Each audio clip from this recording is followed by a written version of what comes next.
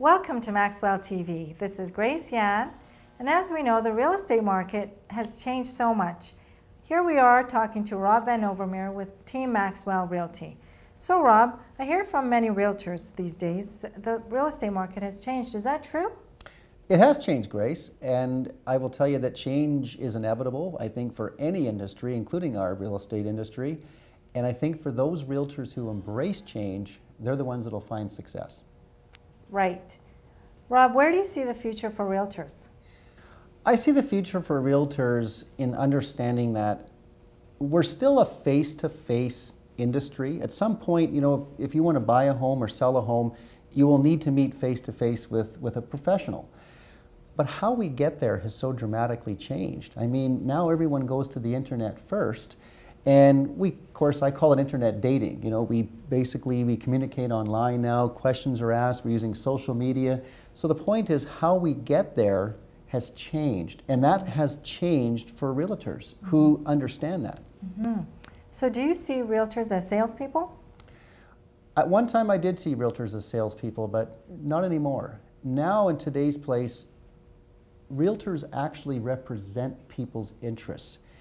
Today with, you know, all of the technology we're using, with all of the lawsuits that are now out there, and real estate being, of course, the largest investment of your life, there's no room for error. And that means that realtors who have the knowledge and expertise are going to represent their clients' interests as opposed to just selling them a product.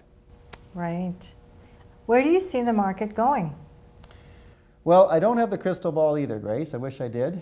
Uh, but I will tell you this. I don't know next month how many people are going to buy a home. I don't know next month how many people are going to sell a home. But I do know there will be people that will buy and sell. So what I focus on is this. Those people who are going to buy and sell, they're going to want a professional. They're going to want someone who has systems, who has technology, who has an online presence. And if I can demonstrate that to people, then obviously some business is going to come my way. And therefore, I don't have to worry too much about you know, whether the market's slow or whether the market's fast. Right.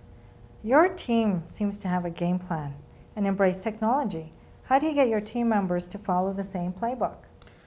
Well, our team members all understand the importance of technology in today's marketplace.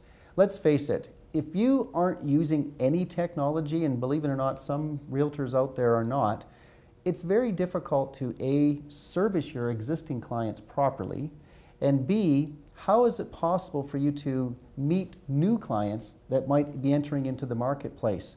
So, as I said before, you know, with the internet dating, so to speak, our realtors understand they need a technology and online presence to attract new business, and that's how they're all in the same place, playbook. Right. What is the one piece of advice you would offer any realtor who wants to increase their business in today's marketplace? I think the best advice I can give you is take a look at your current tools. If your current tools are actively assisting you in managing your existing business better, and your current tools are helping you attract more business, and that kind of technology and online marketing is working for you, well, don't change. Keep doing what you're doing. Mm -hmm. But if you're lacking in those areas, you seriously need to make some changes. Maybe you need to look for a new brokerage that offers those, but do it fast. What do you see with the Competition Bureau? Well, Grace, next year clearly there's going to be some change. Um, I don't know how that's all going to play out, but I do know this. Let me use this analogy. I drive a Toyota Camry Hybrid. You do? Wow. I do. Awesome car. Very sophisticated. Yeah, yeah. yeah. I wouldn't just take that car to anybody to have it repaired. Yeah. I want to take it to somebody who understands the technology and can fix it properly. Mm -hmm. I see that happening next year in real estate. The, the need for someone to hire a professional who understands the market, who has systems, who's knowledgeable, who can protect their interest. Whatever happens with the Competition Bureau, that's not going to change. Well, thanks, Rob. Thanks for joining me today with Maxwell TV. And this is Grace Yan signing off. Thanks, Grace.